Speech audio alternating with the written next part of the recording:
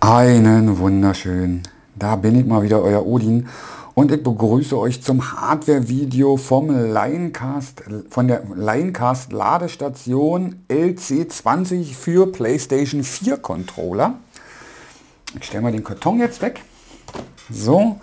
Und wie gesagt, wir hatten ja das. Wir hatten hier einen Aufkleber. Ist doch ein Aufkleber, oder? Nicht, dass ich... Doch, ist ein Aufkleber. Ist ja cool. Den kann ich mir schön aufs Auto pappen. Weil sieht doch geil aus. So, dann haben wir das Heft. Notizen können wir uns hier reinschreiben. Hier steht alles in Deutsch sogar. Ist ja simpel. Ich brauche hier nicht mal lesen. Ich sehe hier, ich sehe hier alleine schon hier oben äh, bebildert, äh, was was ist. Finde ich, find ich eine sehr gute Anleitung. Also da können sich einige wirklich mal eine Scheibe von abschneiden, würde ich mal so sagen. Ich muss mal das so ein bisschen drehen, dass ihr das so ein bisschen mehr seht, was ich hier mache. Achso, die Seite ist Englisch, die Seite ist Deutsch. Okay, und hinten, okay. Also die Seiten uninteressant für uns. Hm. Vorsicht! Nur das mitgelieferte Kabel benutzen, das Produkt nicht demontieren. Ne, will ich auch gar nicht. Produkt immer trocken lagern? Ne, das ist klar. Schmeiße ich nicht in Wasser.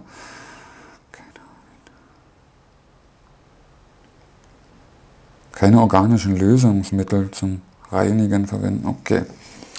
Gut. Und so ja, die LEDs sind erklärt. Obere LED leuchtet rot. Okay. Finde ich gut. Also das zu den LEDs werde ich mir dann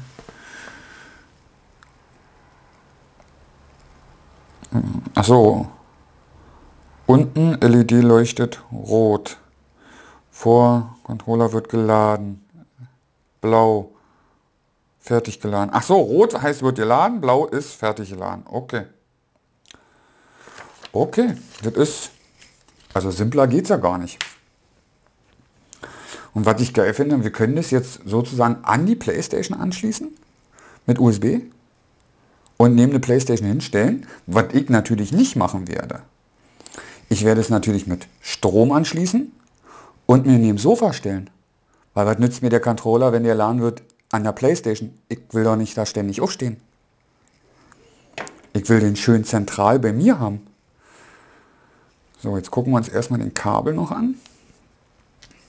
Ja, ich weiß, das heißt nicht den Kabel, das heißt das Kabel. Egal, für mich ist es der Kabel, den Kabel. So. Oh. Scheiße, ist der lang. Also das ist jetzt, das mal, das werde mal so, dass ihr seht. Ich muss mal zurück zoomen. Also der ist wirklich extrem lang. Holla der Waldfee. Finde ich gut. Finde ich, finde ich gut. Ist auch dicht. Wenn ihr hier guckt, ich weiß nicht, ob ihr seht das so scheiße. Ja, so. Das ist wirklich schön dicht, also nicht der Kabel einfach nur da in den Anschluss reingemacht und oh, wird schon halten. Nein, es ist richtig schön fest. Auch beim USB genau das gleiche. Da hatten wir schon ganz andere Sachen. So, jetzt gucken wir mal, wie der anschließt. Ah. War doch richtig. Ja, fest. Also man muss schon ein bisschen Kraft aufbringen. Also er flutscht nicht raus, man muss schon ein bisschen Kraft aufbringen, um den rauszuziehen. Äh, hier steht Online-Cast drauf. Äh, 5 Volt, 1,2 Ampere. Ja, okay. So. Und das sieht ja natürlich richtig edel aus. Und dann kommen wir gleich dran. Also, also wenn das nicht edel aussieht, Leute, dann weiß ich auch nicht schön mit Klavierlack. Ich, Entschuldigung. Ich liebe diese Klavierlack-Geschichten ja. Seht ihr, wie schön das spiegelt? Hier schön das Logo noch von Linecast drauf. Da, guckt mal, da seht ihr. Kann man schön sehen. Oder auch hier hinten, selbst hier hinten spiegelt. Also wenn das nicht geil ist, dann weiß ich auch nicht. Wir haben auf der Rückseite Dual Changing Docking for PlayStation 4 Controller. Entschuldigung. Wir haben hier CE, FC, also geprüft alles. Na, da brauchen wir ein bisschen zum Einpegeln, aber okay. Dann haben wir vorne zwei Gumminippel, hinten das ganze breite Ding, also nicht nur einzeln, sondern das ganze breite Ding ist ein riesen Gummiteil. Hier sind zwei.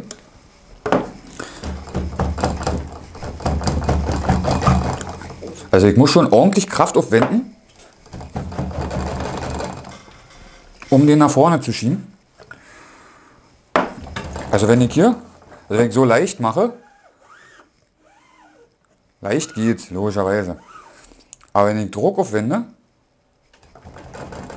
das ist cool. Das ist gut.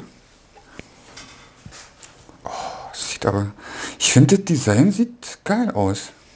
Vor allem diese schwungenden Linien, wo der Playstation Controller reinkommt. Hat was. Sieht extrem sexy aus, muss ich sagen. Ich werde mal euch mal die Nahaufnahme geben. Na, ein Stück zurück. So. Also das sieht doch wirklich sexy aus. Das ist von der Seite. Hat so ein bisschen was vom Schuh, oder? Hm.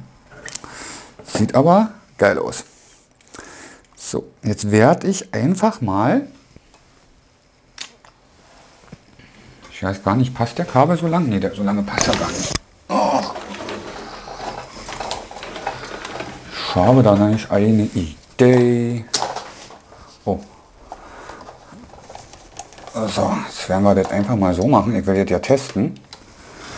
Ich hoffe, der Kabel reicht jetzt. Doch, müsste reichen.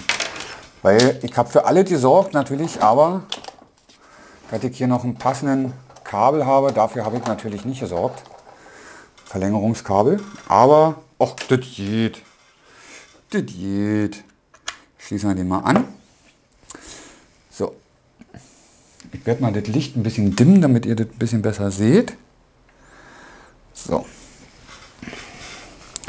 So, ich mache nochmal Strom ab, dann müsst ihr mal hier vorne drauf aufpassen.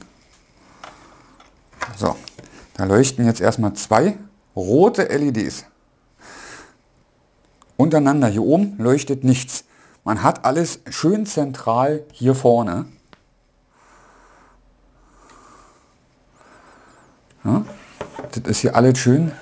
Ja, ich versuche gerade eine schöne Position für euch zu finden. Ich mache nochmal ab.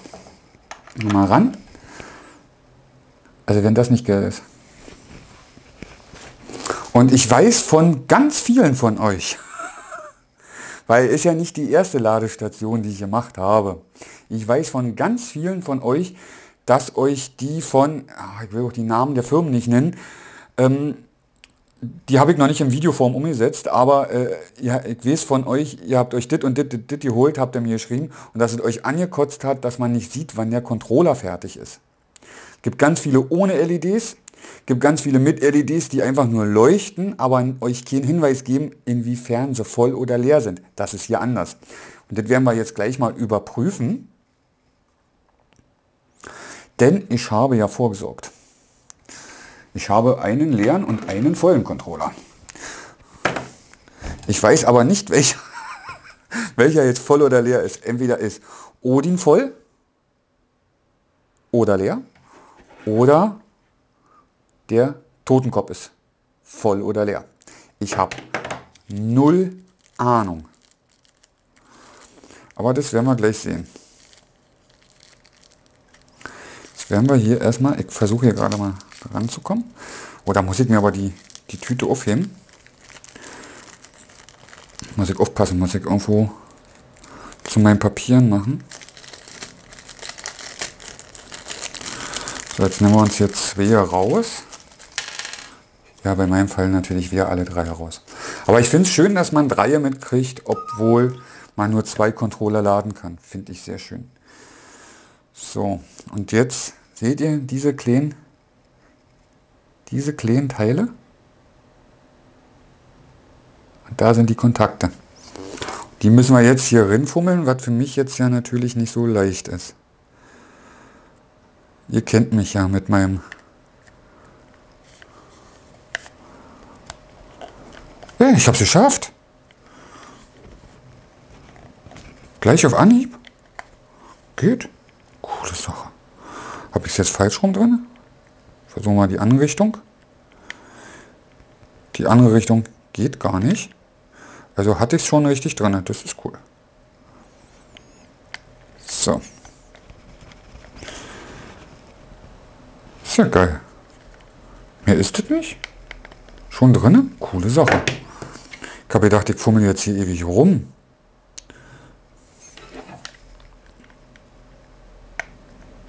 Hm. Achso. Falsch rum. Jetzt ist. Geile Sache.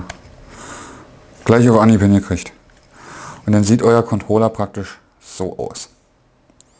Da habt ihr da kein Loch, da habt ihr so zwei Dinger. Und die machen wir jetzt einfach mal, wartet mal, wie war das? So rum. Nee, so rum. Und jetzt leuchtet es blau. Und jetzt machen wir das andere. So, jetzt leuchtet auch blau kurzzeitig. Ich kann euch das mal zeigen. So, wenn wir jetzt die hier rauf machen, Ne? So. So, ich habe es nicht richtig dran gehabt.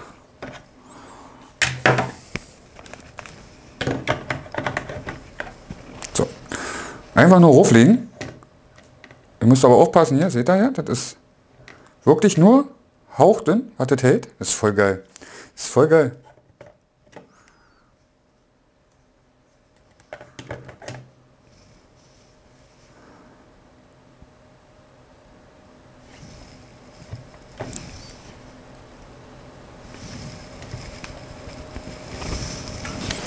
habe ich die Ladestation glaube ein bisschen aus der Raison gebracht und ein bisschen verarscht.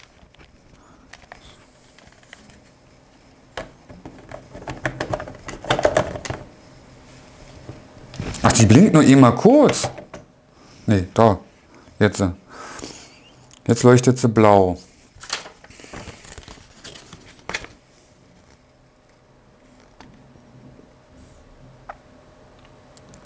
Controller wird geladen.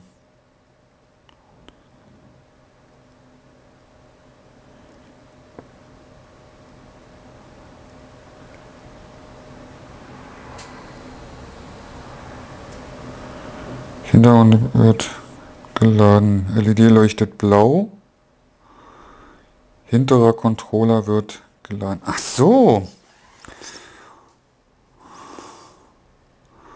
Obere LED leuchtet rot, hintere Controller wird geladen. Obere LED leuchtet blau, hinterer Controller fertig geladen, das ist der volle. So, leuchtet so, jetzt werden wir das rot, wird geladen. Ach so, weil ich habe mir ja noch an jetzt. Gut, ich hätte den mal vielleicht dann doch ausmachen sollen. Ich habe mir ja noch an. Seht ihr das? Da ist klar, dass er den Strom wegnimmt. So, jetzt nehmen wir einfach mal den.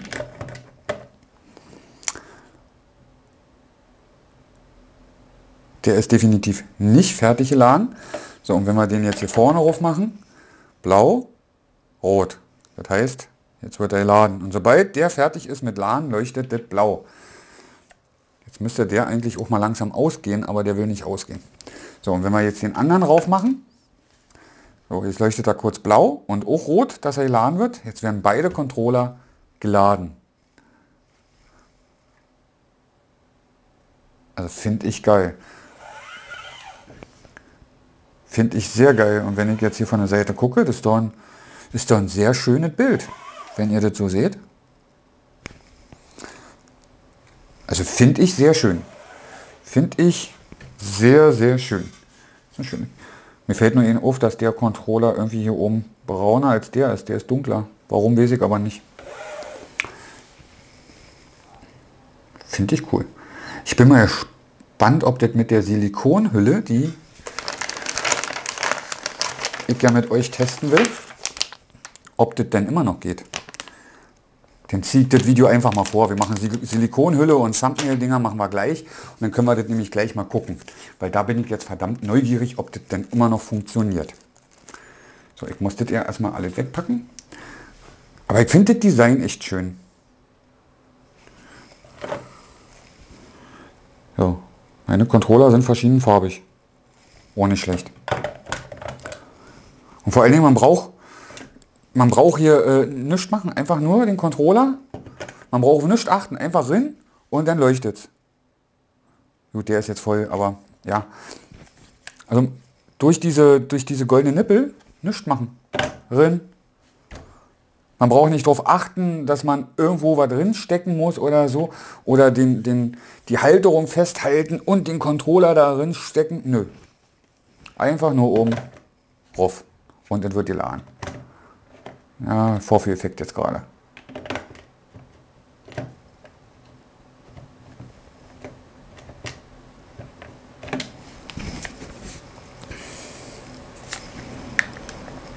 Ist da drin? Aber hier ist gerade Vorführeffekt jetzt hier. So, jetzt. Ja, natürlich. Eben klappt es die ganze Zeit hier rein, raus, rein, raus. Ja, irgendwann kommt er sich natürlich auch verarscht vor. Ja, aber geht ohne Probleme. Also wirklich ein klasse Teil. Wir werden jetzt erstmal den Controller weiter laden und dann werden wir jetzt gleich die Videos machen zu den Thumbnail, nee Thumbnail nicht hier, zu den Analog Sticks und halt das blaue Case. Ich habe extra blau, extra blau gefragt, weil damals waren keine blauen Controller verfügbar, deswegen habe ich zwei schwarze. Und ich mag blau und deswegen habe ich gedacht, oh, machen wir blau. So, dann würde ich aber jetzt erstmal verabschieden bei euch. Ich hoffe, hat euch gefallen. Und äh, ja, wir sehen uns im nächsten Video. Ahoi, sagt euer Odin.